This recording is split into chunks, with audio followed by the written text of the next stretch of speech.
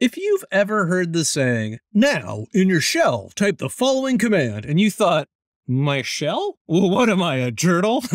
Here's the thing, you'd be right. I mean, whoa, whoa, whoa, wait, you're, you're not a turtle. But the term shell is actually derived from that because it provides a protective outer shell for your operating system. Shell is most likely referring to the text-based interface that's used to interact with your operating system. Your OS is in charge of some pretty important tasks, like running processes, storing and retrieving your data files, and maintaining devices. The shell is providing you the prompt. You know, that blinky cursor waiting for your input in your terminal application?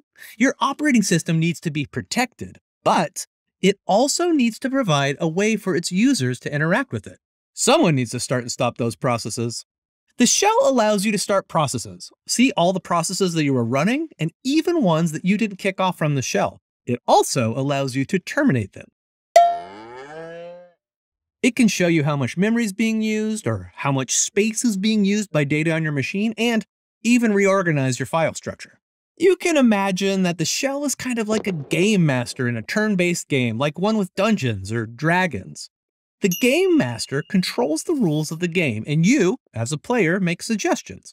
If, and only if, your suggestion is valid, the game master will execute your move and then tell you the results of your action. The master is also responsible for telling you the state of the game if you ask. But one of their more hidden roles, which might not be obvious, is to protect the state of the game, making sure that you don't cheat or ignore the rules of the imaginary universe. Operating systems have a shell by default. Your terminal application will let you choose and configure your shells. But you should know that there are a lot of options out there, so many in fact that there is a standard that many are based on. Check the notes for more on this. Some programs, like Git for example, even install a bit of a half shell, so you can kind of follow along with other tutorials that don't think about Windows. It's like a hero in a half shell. Cowabunga! That, that's another turtle joke, I'm sorry. Every shell is a little bit different. They all have slightly different feature sets.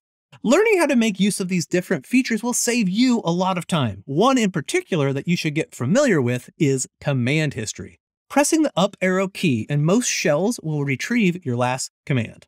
And most shells provide a way for you to modify the way that they behave and look. Typically, this is in a file so that you can take that configuration with you to new machines and it will always feel the same. You've probably done a tutorial and saw the dollar sign in the prompt. Now, this is the default prompt for the Bourne again shell, or bash. And now you also know that bash is a type of shell and not just what you want to do with your head sometimes to the keyboard. Sheesh, don't do that. As a developer, you're going to spend a lot of time in your shell. And understanding how to use the niceties of your shell will save you a ton of time. Features like auto completion are lifesavers. As you get more experience, you'll be able to chain your commands together by piping the output of a command into another one as input. Where do you take someone who has been injured in a peekaboo accident? To the ICU. Shells typically provide a scripting language, so you can reuse your commands, share them, and even provide an interactive experience from the command line. There's also custom tools that are built to run in your shell called CLIs, or Command Line Interfaces. This makes it easier to run your program from the comfort of your own shell and get all the output that you need. All right, so now that you know about the protective shell around your operating system and have seen them in action, I'd love for you to dive in a little bit deeper. Check the notes for some ways to practice. There are some important things that you should learn about, like the dollar path environment variable, but we discussed that in another video. Speaking of which, if something in here didn't quite make sense to you, make sure to check out our list of ever-expanding developer fundamentals. Chances are we have it covered. And if we don't, please let us know and we'll do our best to get that video for you. Thanks so much for hanging out, and we'll see you real soon.